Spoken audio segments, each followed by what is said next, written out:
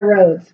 So if you had to take a road to get to one of those pieces of candy, which road would you want to take to get to the candy? Why? because this is short and this one is um wiggly. Wiggly? Yeah. Okay. You can eat those, by the way.